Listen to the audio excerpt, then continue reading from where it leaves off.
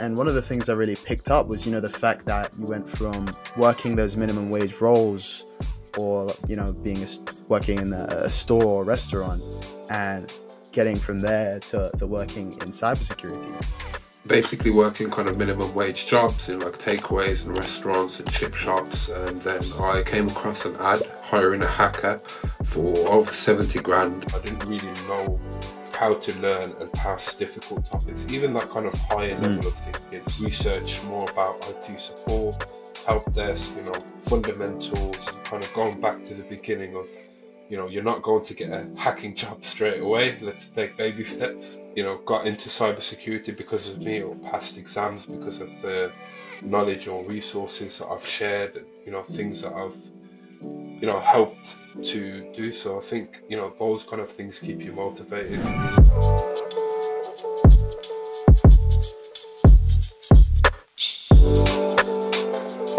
Hello and welcome to the Tech Certified podcast. I'm your host, Caleb Oni Certified. And once again, this is the podcast where we interview tech creators and tech professionals who inspire us on our journeys in the tech industry. The aim of this podcast is to bring the knowledge of tech professionals and tech creators closer to those who need it. And we'll be doing exactly that with today's guest. Today's guest is Salih. Salih is a cybersecurity consultant with a number of years' experience in the cybersecurity field. He is also a content creator who goes by the name Cyber Salih on YouTube. Salih, how are you doing today? I'm great, thank you. Um, yeah, thanks for having me on. How are you doing today? You okay? Yeah, doing amazing. Uh, so great to have you. Um, so, so, so first things first, let's just have an introduction to to Salih and and just telling the audience a little bit more about yourself. Yeah, sure. Um, yeah, again, thanks for having me on. Really, it's a pleasure to be here. Um, so, a little bit about myself. I uh, started off my career kind of um, basically working kind of minimum wage jobs in like takeaways and restaurants and chip shops. And then I came across an ad hiring a hacker for over 70 grand. And I remember at the time thinking, wow, this is actually a job. Like you can get paid to be a hacker. Like I had no idea that was a thing. Like I didn't really like IT in school. I had no idea cybersecurity even existed at that stage. Um, and yeah, from that kind of moment, that was a pivotal point that just made me kind of immerse myself within cybersecurity. And I started doing so much research and learning and downloading Kali Linux and messing around and like hack the box and try hack me. And then after that, what I did was I realized that I needed to get a support role first, just to get a little bit of IT and tech experience before pivoting over into cybersecurity. So, yeah, I did that. Um, it was very difficult and a very long journey, but eventually I got into a support role, and then um, after that, I pivoted my way into a compliance role, a GRC role, kind of like an audit role. And since then, I've essentially worked my way up, you know, took a bunch of exams and, you know, moved around a little bit, a few different jobs, a few different opportunities. And yeah, and uh, kind of at the beginning of that, I also wanted to document my journey. So I started to create content. Um, wasn't very serious. I wasn't very good at it. I'm still not very good at it. I've still got ways to improve, but um, yeah, I started creating content, and that kind of helped me document my journey at the beginning. But now the I guess purpose of that has shifted slightly, and yeah, that's just a little bit about myself. Yeah, yeah, that's a a really great introduction. And, and one of the things I really picked up was, you know, the fact that you went from working those minimum wage roles, or you know, being a, working in a, a store or restaurant, and getting from there to, to working in cybersecurity. Um, so, so I want to really know a lot more about that. And I know like for the audience, they'd be really interested to understand a lot more about that sort of journey and, and transition to cybersecurity. So could you like give uh, a brief walkthrough of that journey from, you know, going from those roles in, at the store or those minimum wage roles to, to working in cybersecurity now? Yeah, sure. Um, it was it was hard. I'm not going to pretend like it Mm, was easy. You know, it's it took me um, kind of total immersion. I think that's the first and most fundamental part was that I literally deleted all my social media. I got rid of everything and I created new social media.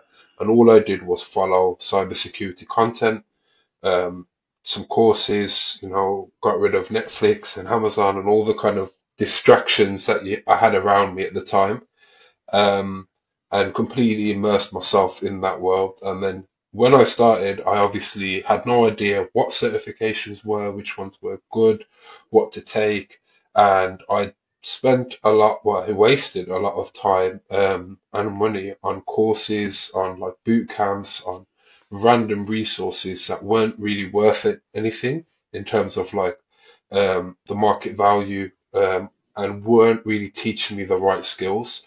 But eventually, I landed on um, TCM Security, the Practical Ethical Hacking course, and that was essentially the first real cybersecurity course that actually taught me something. And um, after doing that, I started to get better at understanding what types of cybersecurity content was good and what was bad, because there's a lot of bad stuff out there.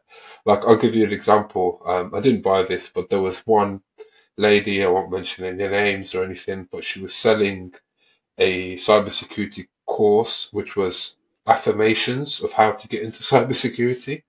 So she was essentially packaging up her prayers and putting them in a PDF and selling them to people. And that's the kind of content that you're seeing. So, I mean, back then, you you know, it was only three to five years ago, um, in that time period, there weren't a lot of popular content creators that I had found, and there's certainly a lot more nowadays, but there was a lot of rubbish, so it, it took a lot of time to filter a lot of that out.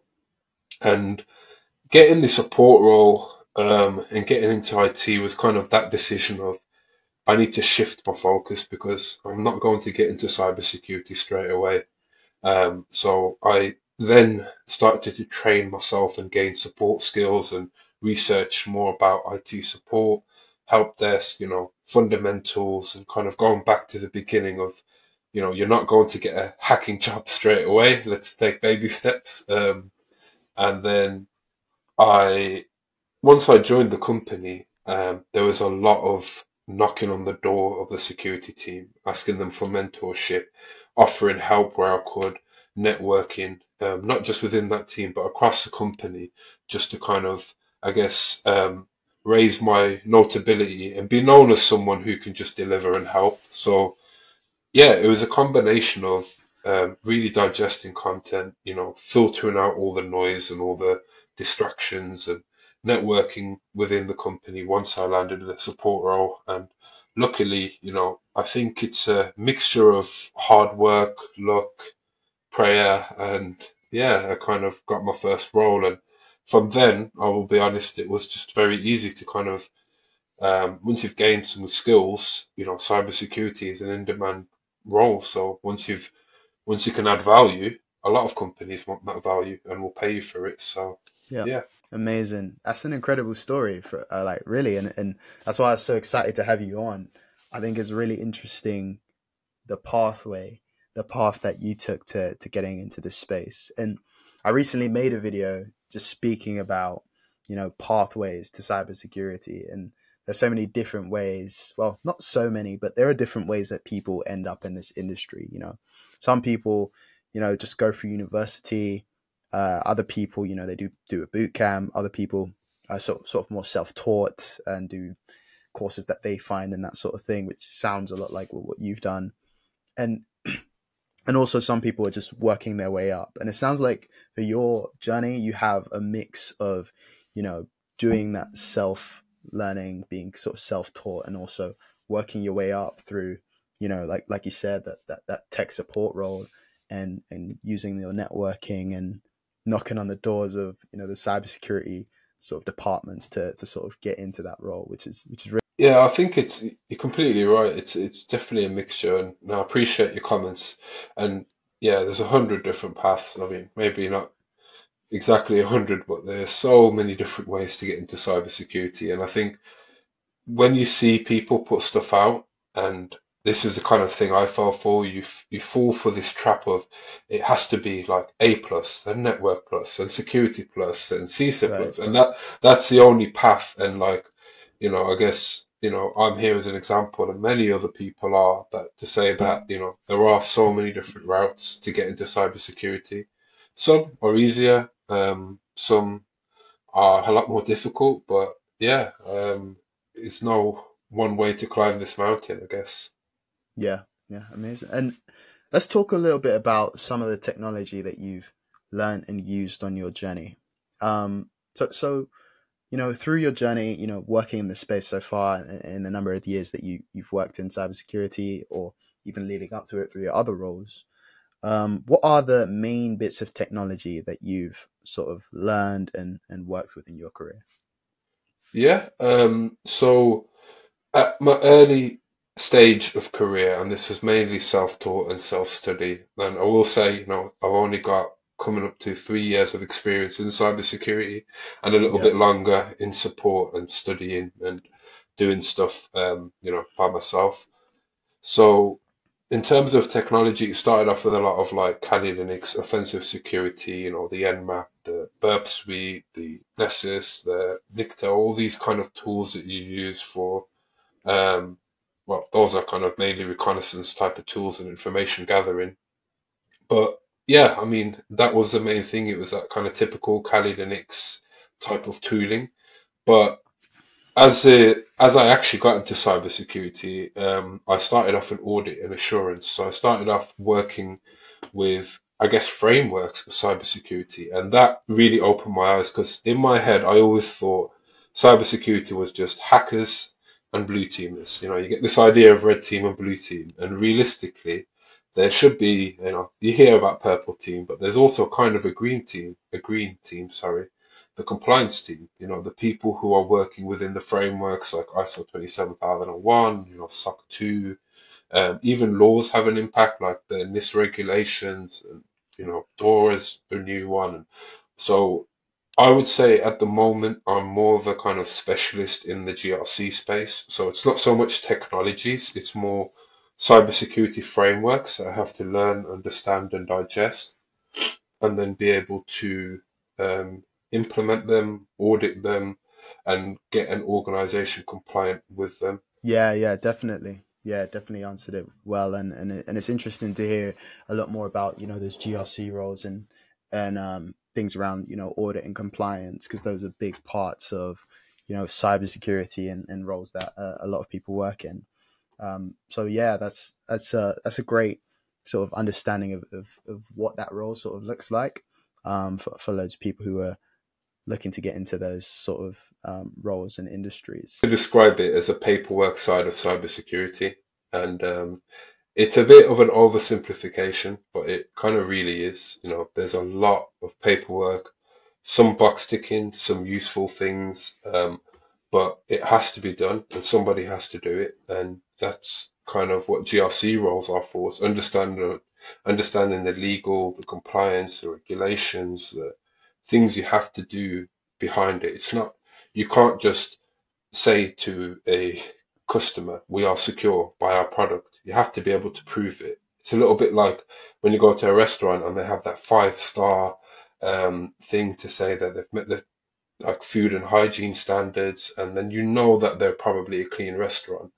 It's similar in cybersecurity. Companies, organizations need to have some sort of certificate or badge or report to prove that they are secure. So, yeah, Nice, nice, and that's a that's a great explanation. I wanted to talk about you know some of your certifications because you know you you're, you're um CISSP certified and you also have your CCSP. Is, is, that- is that right? Which is yes, kind of, I would caveat that with um, I'm not technically certified, but I've Mm, passed the exams. Right. So to become fully certified, you need to have five years of experience. Um, so Um, CISA, CISSP, CCSP, um, I technically don't have, I'm not certified. I'm a holder or an associate of the exam. Like I've passed the exam, um, and I will be certified as soon as I hit five years of experience. But yeah, technically not certified, but that's a legal thing you have to say because if you say you're certified and you're not, they'll take it off you, and it's of Okay, work gone down okay. the drain.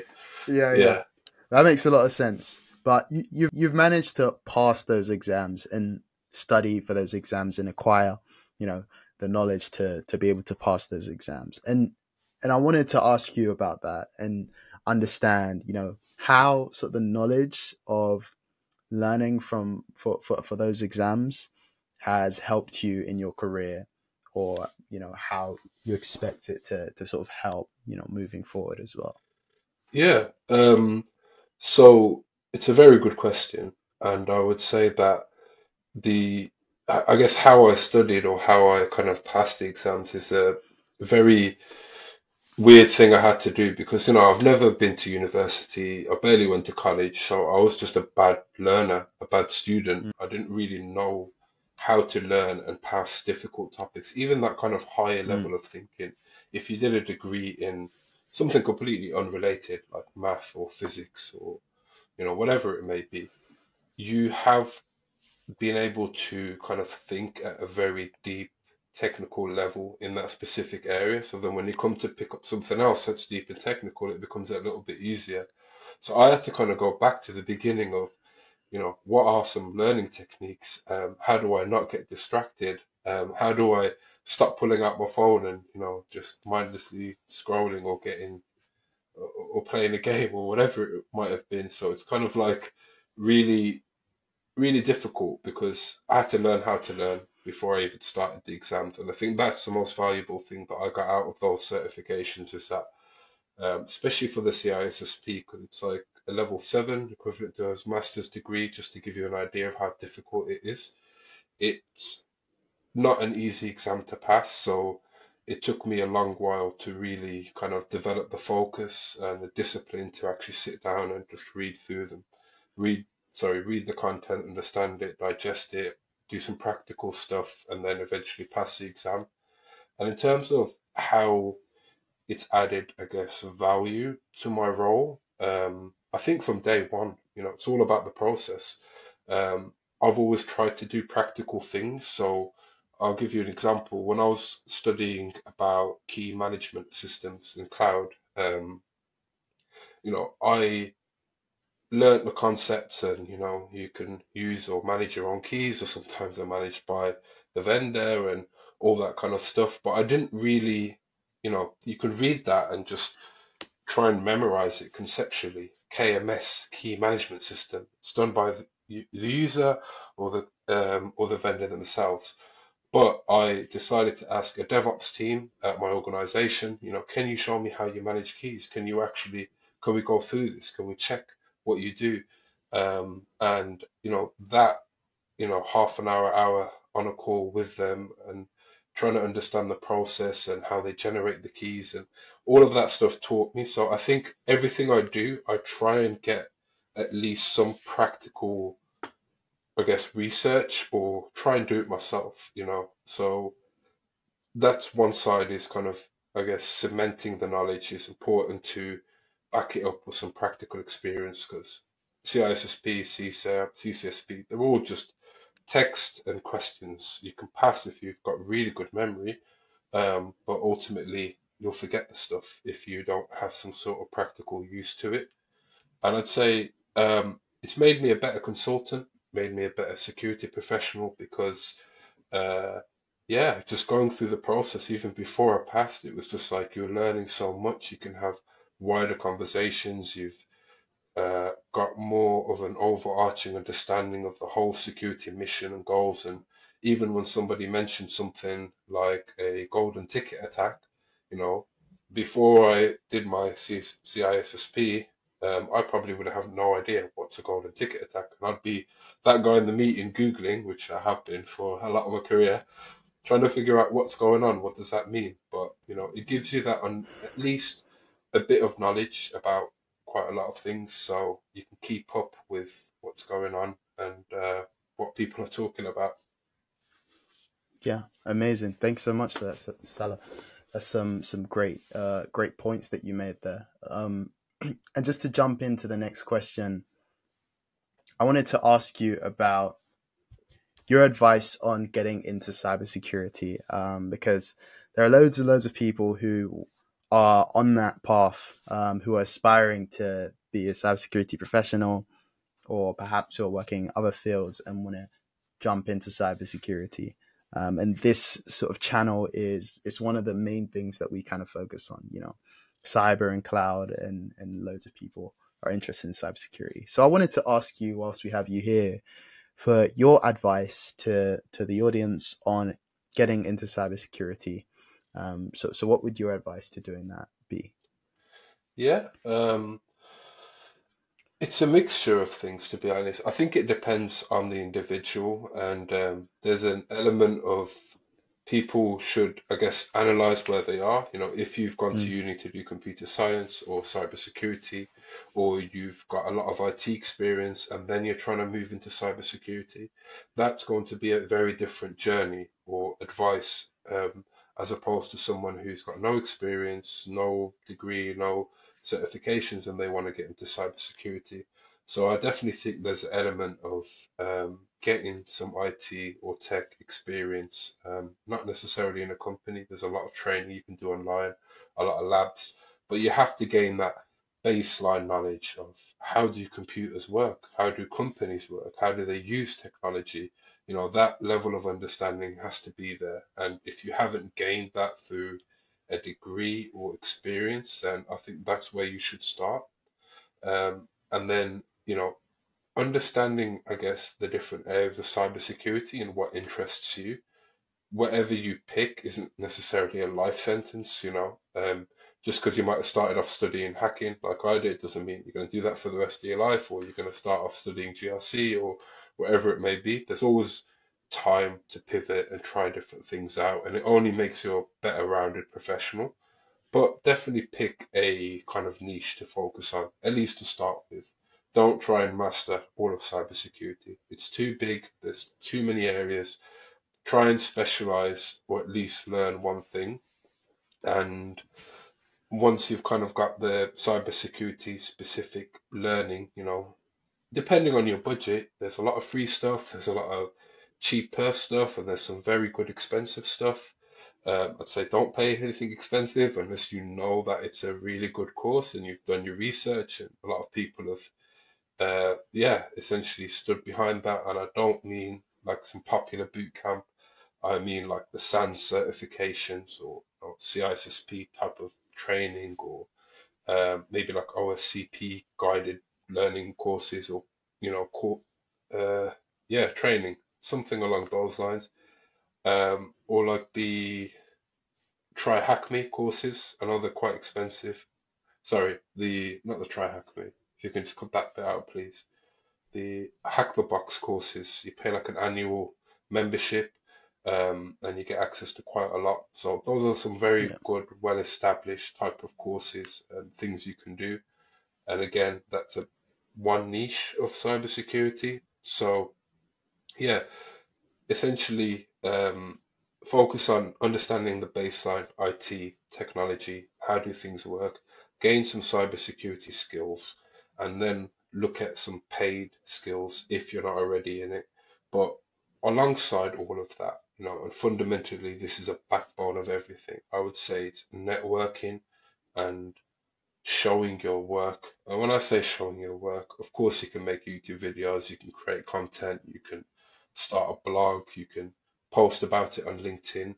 But I have seen some very successful people as well who have private random blogs that you will never know about and that are some of the best technical content that I've ever seen in my life. And what they do is they'll apply to a job and they'll send a link to that, give that specific person access to it. And that's what they use, you know. They've got a portfolio, a sizable amount of projects and experience that they can demonstrate.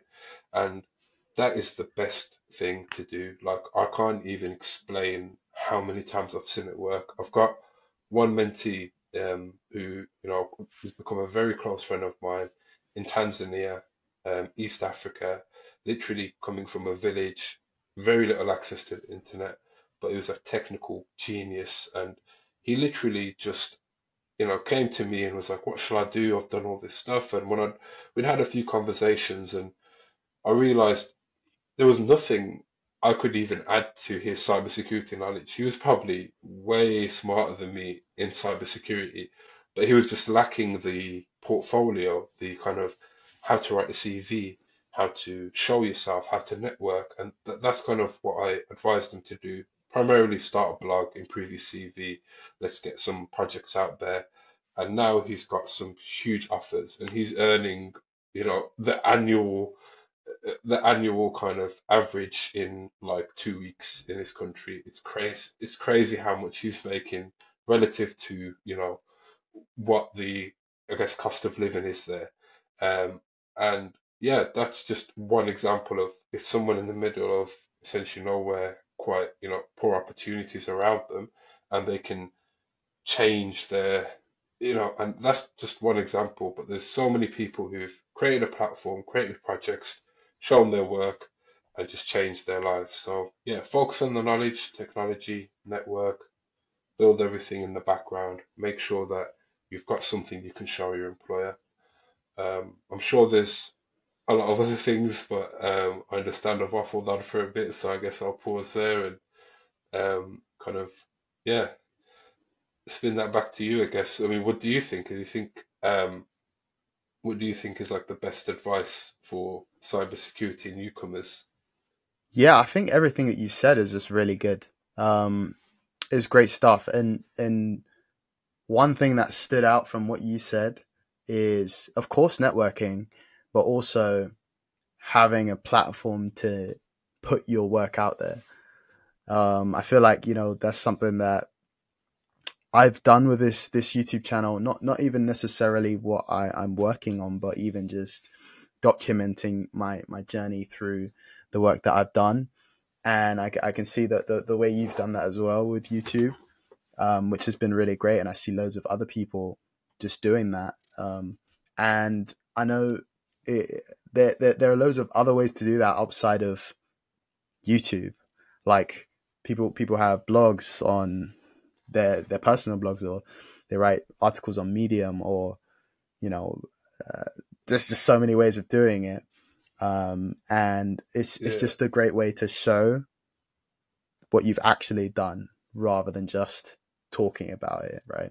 It's not just the you know I've done this I've done this but you you do a project and you're able to display that somewhere for for others to see and and I feel like what that really does is it, it's a part of your sort of personal branding towards companies and, and you're able to show companies something um, so that they can sort of come towards you rather than you going towards them if that makes sense so yeah, that, yeah. that's some, some some great great advice and um, yeah really really appreciate that and i know the audience will be able to take a lot from. We've just launched a free cloud engineer assessment to evaluate and assess your current skills on your path to becoming a cloud professional. Now, when you take this assessment, it provides some incredible recommendations for your path. And remember, this is completely free, it costs you nothing, it only helps you on your journey. So if this interests you and you are an aspiring cloud professional, definitely take this assessment. I'm gonna leave a link to it. Here's an example of me taking it myself and getting some pretty good recommendations from my own assessment. So guys, check this out, and I hope this is really helpful. Thank you guys for watching, and I'll see you guys later. Wait, yeah, thank God. Cool, and um, let's dive into the next question, which once again, I ask everyone on the channel um, who, who comes onto the podcast. And I just want to ask you for one interesting career story whether it's a, a great career story that was amazing or whether it wasn't so great and something went wrong or it was bad or whatever. Um, so, so what is an interesting career story uh, that you have and, and could share with the audience? Um, yeah, um, that's a really good question, and um, there's quite a few. I think one interesting career story that taught me a lot and was kind of a stupid mistake, but also a beneficial mistake to make. Um, was that there was a client that came up to me. So I'm in consultancy currently, and you know, there's you know, I've got various clients, different projects, and uh, essentially how consultancy works. For those who don't know, is people buy the consultant's time and you help them with whatever it may be. Now, typically there's a salesperson involved in that, and the salesperson will sell your time, and the client will say, "We want the consultant to do X, Y, and Z," and then the sales guy will be like, yes, that will cost this much. Here's the purchase order. And then they'll send you a meeting, they'll send you a, message, sorry, and say something along the lines of this client wants X, Y, and Z. Um, can you help them out? And then you reach out and you start the engagement of the project. But there's a full breakdown of communication here because what the client said to the salesperson just got lost in translation. And then what he said to me was completely different. So what he, what the client had asked for was essentially a network or let's say security architecture review and guidance. So it's kind of a bit of an exploratory discovery, um, I guess, engagement of their whole IT infrastructure and their controls and their estate, and then trying to pick gaps and make recommendations against, you know, what pick gaps and make recommendations against, you know, what you think would they need to fix. Um, and then you put that all in a formal report and you send that over to them. But what they'd actually said was what what kind of came back to me from the salesperson was something along the lines of they've got a SOC team and they want to take the SOC team to the next level, and you need to help with that. And then I was just like, hold on a minute. No, I've never worked in a SOC. I don't know the first thing about taking a SOC team to the next level. So how do I even do this? The sales guy was like, nah, it's cool. You'll have help and guidance and that kind of thing. Um, and I did, luckily. You know, there's a lot of very senior people that I could lean on to help me. But I thought before that, um, I would at least speak to speak to one or two people, get some advice on SOC, um, and find some resources. So I did a lot of research, and this is in my own time. I went off on this whole side quest of how does a SOC work? How do you build a SOC? How do you take a SOC to the next level? I watched all these like webinars from SANS. I found this like 200 page document of like um, 11 strategies for a world class SOC and literally studied that inside and out. Honestly, I stayed up late stressing about this because I really wanted to deliver on the project and I didn't want to come across like an idiot. And this is before I'd even spoken to the client. You know what I mean? So this is all in my head, just overthinking. Um, and I learned a lot from all of that stuff, but it wasn't relevant. Anyway, and then came closer to the actual start date, and I had a very senior person, a very senior consultant to lean on. And I said to him, here's all the work I've done, you know, and I found this uh, SOC capability maturity model, which was like this framework that you can use to assess the current maturity of a SOC and take it to the next level. So I've done all this prep work and all this stuff in the background, and I'm presenting it to the senior consultant, and I'm like, look at all the work I've done, and he's like, hold on a minute, like, what what are you talking about? Have you even spoke to him? He's like, I was like, no, not yet. He was like, so how do you know this is what he wants? Of course, because that's what he said. He's like, no, but you haven't spoke to the client. And I was like, yeah, but you know, I can. Uh, he said he wanted to take the SOC to the next level. Isn't this what he wanted? And he was like, no, you need to speak to the client. You need to have a discovery, exploratory type of engagement first to understand, like a discovery call. What is the client asking you for? And then you can make a decision on what to do next. So that concept of just speaking to someone with an open mind about the security issues before making that assumption of this is what they need, these are the security, this is the security advice, this is their, you know, report. Like essentially, I'd written a report before I'd even got to the first stage of the project. So yeah, that was a very important lesson for me. But it's just a funny story because it was like I went off on this whole side quest that I just immersed myself into, and it was all for nothing. But that knowledge, I guess, has come in useful in some other places, but yeah, nothing. But that knowledge, I guess, has come in useful in some other places, but yeah. Yeah. yeah. Nice, nice. And did was the what the client wanted completely different from what your your report was? Yeah, completely different. You know, it yeah. was yeah, just not even the same. But it's yeah, that that's uh, I guess my own fault because it's like you've heard a few things and you've just made assumptions, and um, I guess sometimes you know written communication, um, especially when it's going through maybe a technical person, then to a non-technical person, maybe to a few stakeholders, and coming over to you, and etc. etc. Things get lost, and yeah, it's important to approach cybersecurity, I guess, with an open mind. You know, understand the technology, understand the infrastructure, keep an open mind. Don't make any assumptions about what the best thing to do is. It's like if you asked me, you had a company, and you said to me, "How do I secure my company?" and I turned around and said, "Okay, first you need to do this, this, this, and that." Like that could be completely wrong. I have no idea what your even if what your stack is, what if you have any servers, are you on prem, are you remote, do you use laptops, does everyone work off their phones or iPads? Like if you have no idea what the technology is, what people need, you can't make silly assumptions like I did. So that taught me to never make assumptions um, in a roundabout way. So Yeah, yeah, no, no, that's a good one, Salih, and, and and thanks so much for that. It's a really, it sounds like a really valuable lesson that that, that you've learned from that experience, and and one that yeah, anyone watching can can can learn from as well. Uh, so so thanks a lot from that. No way, there is just no way. Some of you guys have been watching this far and have not subscribed to the channel. Others have yet to even like the video. And for the people watching on Spotify and Apple Podcasts, some of you have not even rated the podcast. Thanks so much for watching, guys. If you got any value, like, subscribe, and rate the podcast on whatever streaming platform. All right, let's get right back to the video.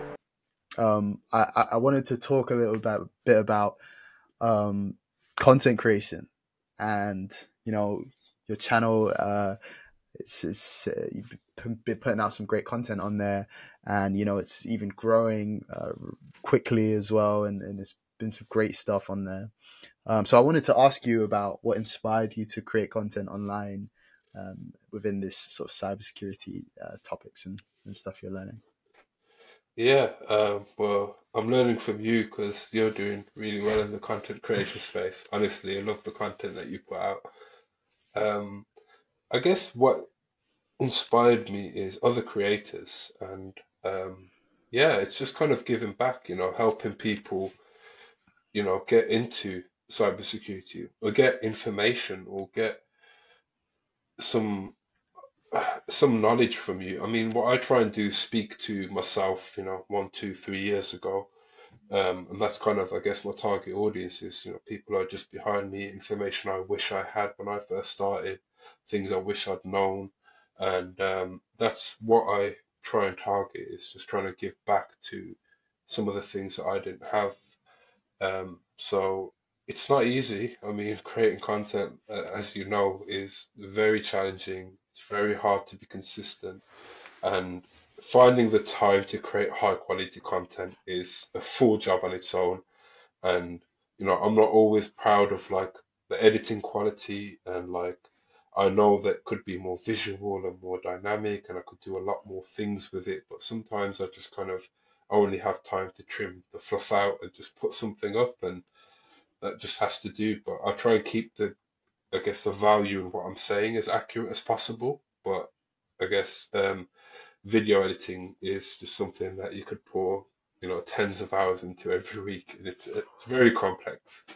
Um, but yeah, I mean, I guess inspiration is just that, you know, eventually, I guess it's building, um, building a community, building an audience, building a network of, that can support each other, that can help each other. I mean, you know, I get messages, um, and people who I've, you know, got into cybersecurity because of me or passed exams because of the knowledge or resources that I've shared, you know, things that I've you know, helped to do so. I think, you know, those kind of things keep you motivated. Like I remember feeling really down. I think it was a couple of weeks ago, and I was like editing a video, and I just had a long day, and I wanted to go to the gym, and I had to cancel the gym because I just needed to get the video edited. And then literally just as I was going through all these weird emotions, I just got a message, you know, um, of someone that passed an exam and they were thanking me because they followed the exact resources and those kind of things just it gave me a second wind and it keeps you going and keeps you motivated. So it's weird adding value, I'll be honest, because coming from, you know, where I come from, where we come from, it's not something you're used to when somebody in Canada or East Africa or West Africa or, you know, the Philippines or wherever it may be messages you and says, you know, a really nice message or you've helped them accomplish something. And it's, yeah, it's kind of surreal. I know, um, yeah, it's it's one of those things that as long as you've helped or been able to help one or two people, that's a goal. You know, I think there's easier ways to make money from content if we wanted to go down that route, or you know, creators wanted to go down that route. I think cybersecurity content is a niche within a niche, and it's yeah, it's probably not the most profitable niche to be completely honest. So I think you have to do it for the passion and for the love, um, as opposed to yeah, getting up to trying to become a, I guess, the next Mr. Beast or the next big YouTuber. You know, that's not going to happen anytime soon within cybersecurity. I think there's just a handful of cybersecurity creators who've even made it past, you know, a few million subscribers. So yeah, it's a very small niche, very small community, but growing. And I love it. You know, I love to see your channel, other channels. You know, I love when you see new cybersecurity creators and you just think, wow, like it's good to have these different perspectives, different job roles, different types of people, different content. So yeah, love it. I think if you've got the heart for it, if you want to do it, go for it. Great content. But yeah, it's not easy. It's uh it's gonna be a graft. Yeah, yeah. Thanks so much for that that um insight, Salih. And yeah, yeah, it's it's so true. Um, I I really agree with what you said about just how you know the the impact and the value that people receive, and and when they message you say, "Oh, this is this is amazing. Thank you so much for this. It's really helped me do this, this, this." Like, wow, I didn't. I put this out just not expecting that, and what's come back from it really keeps me wanting to create more and share what I've learnt more. Um, I definitely think, you know, from when I started till now, um, I I've just learned a lot more about creating content, but also just what I've been creating, even from the first couple videos I created, is is what I just learned recently, and I'm just really documenting my journey and knowing that there's so many people on that same journey, um, and and so it's it's it's value that is from someone who is just like a few steps ahead of you. Like I have had my career, the length of my career is like two and a half years. So I haven't, I, I don't have 20 years of experiences in, in cloud or cybersecurity, but I'm really just sharing my journey and a lot of people can resonate because I'm just, I've done a couple months or a year ago what they're trying to do now, which is, um, which is really, really great and Yeah, helpful. and that's the thing. I mean, what you touched on there is the main thing. It's so much easier for myself, for any of the other kind of people who watch your content, to literally look at your journey and think, he's one or two years ahead of me, and you're speaking to that person just behind you. You know, if you had 20 years of experience or 25, or you're one of the 30 or 40 year veterans, don't get me wrong, you know, you'd be a technical genius and whatnot, and we'd be, I'm sure there'd be some value to content like that, but it's out of touch, you know.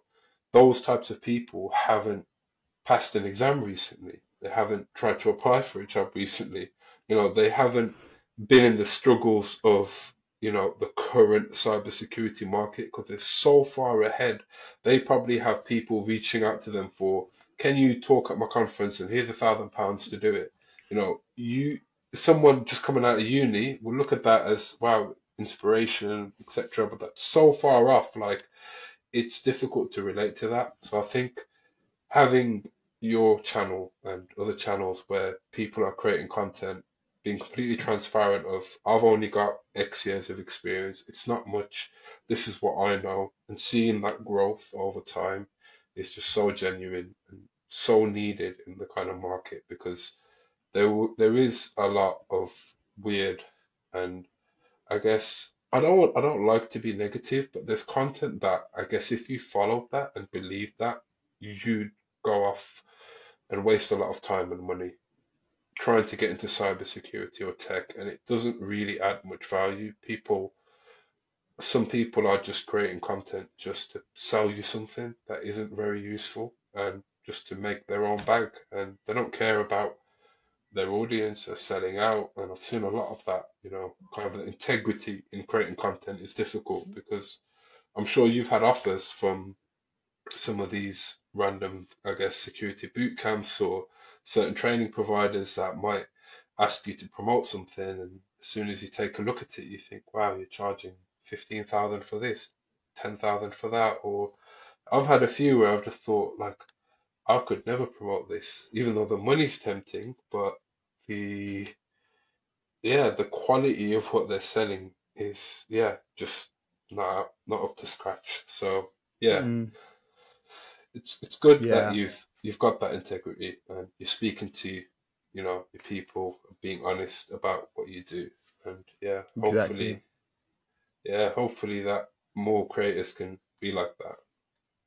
Amazing. And yeah, like before you buy anything from anyone, do your own research, uh, including me or Salih. Um, but yeah, um, definitely like really just uh, resonate with with a lot of the stuff you said about you know creating content. Um, and and that leads us to to the final point of this. And I just wanted to ask you if there's anything you wanted to share, plug, or promote uh, to the audience. No, not really, to be honest. I mean, check me out on YouTube, Cyber Salih, S-A-L-I-H. But other than that, nope. Um, thank you for yeah the opportunity. Honestly, it's been a great conversation. Um, Yeah, really. and yeah, I don't really have anything else to plug or promote. But yeah, appreciate you know you inviting me on, and uh, yeah, it's been it's been great. Thanks so much, Sarah. And and just like the last thing I want to say is just you know the the tech certified podcast. Uh, I'm I'm so grateful to have guests like you on here. Um, and just just the reason that I sort of started this podcast is because you know the channel is great and there's lots of great content on Caleb Certified. You know from my journey, and you know people have been able to learn from it. Amazing but I just don't know everything. I just don't know everything, and and it's so great that I'm I'm able to you know bring on other people who, yeah, just have a completely different perspective and know a lot more than than well not yeah know uh different things than than I do. And, Yeah. and can bring their perspective to, to the to the channel and to this this podcast. So yeah, once again, thanks so much, Salih. So I was gonna say, yeah, um, yeah, none of us know everything. I guess if someone told you they know everything, they're lying. And yeah, nah, it's we're learning every day, trying to just be better, and that's all we're trying to do.